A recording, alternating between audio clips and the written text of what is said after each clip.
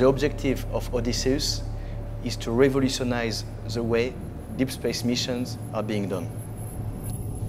So we want to take advantage of the small satellites revolution. At the same time, we also develop solutions for new mission profiles, for mission we could not even think about a few years ago.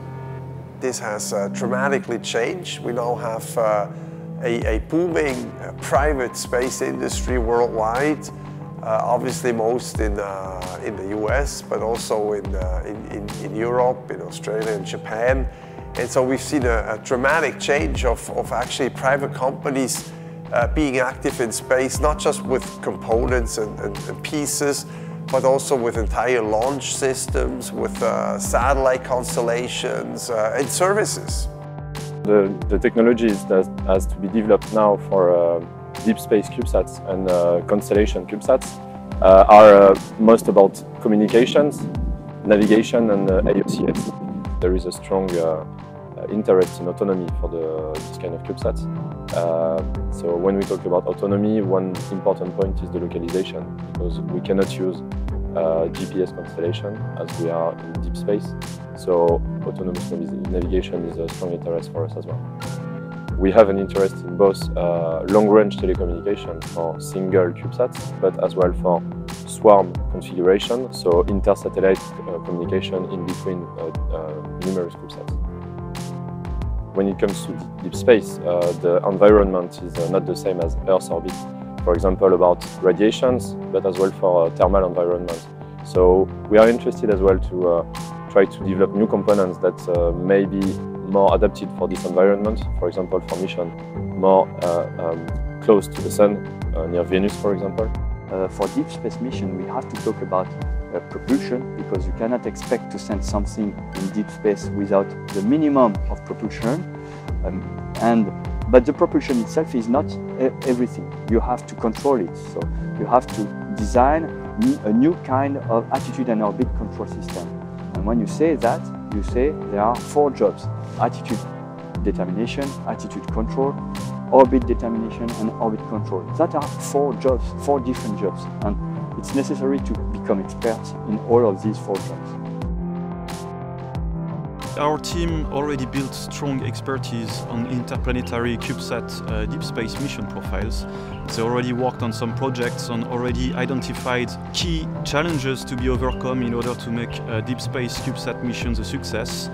And by already identifying these challenges, we know what key technologies we still are needed to be developed with Odysseus, we want to build strong international cooperations with foreign institutions or private uh, companies in order to build a strong consortium to overcome these uh, key issues and create innovative deep space small satellite solution together and make this kind of mission a success.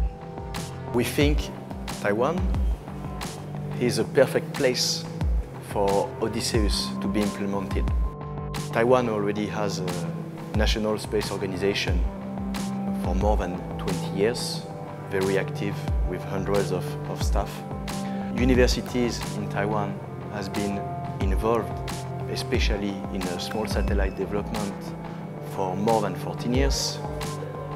The high-tech environment is very strong. Taiwan being the leader in uh, many uh, ICT industries. And also there is this, uh, this will in Taiwan of developing international collaboration around R&D projects and that's also something we are pushing.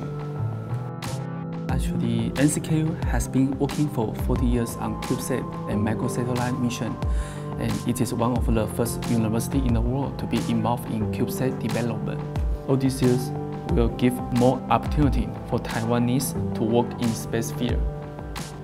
We will have more bilateral type of activities between the different uh, startups uh, here in Taiwan and also uh, over there in France. So this is one example, but there are also uh, activities with Europeans, a lot of promotion about industrial cooperation, R&D cooperation, helping the Taiwanese uh, to join, for example, international R&D programs like Horizon 2020 in Europe. So this is also what's, uh, what's happening, how to position Taiwan basically as, as, a hub and to bridge with the different other hubs around the world.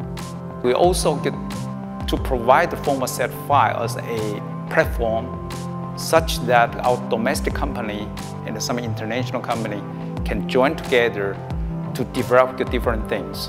So we take this opportunity to develop several very important uh, components, such that the Humble computer and the power distribution control unit, and uh, the flight software also, you know, fully developed by NSPO team. So in addition to that, the whole uh, payload module has been developed inside our country here. Well, we really want to offer our customers a full support from the moment they have a nice idea on paper. So we would provide them feasibility mission analysis and studies. We would do mission design and support. But we would also help them up to the moment they are building their satellite. So we would help them with testing support, with integration, with training.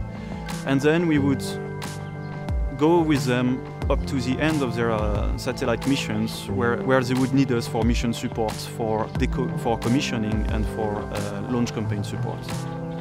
Odysseus has a good network and has to develop and maintain this good network of professionals and a good network is a network of people uh, who have been already involved in a common work with Odysseus and that's the case. By overcoming the challenges related to deep space nanosatellite missions, not only we will create new mission profiles, which were unthinkable recently, but also we would participate to the democratization of interplanetary space. And by doing so, we could help the humankind to raise its consciousness that we are a space civilization.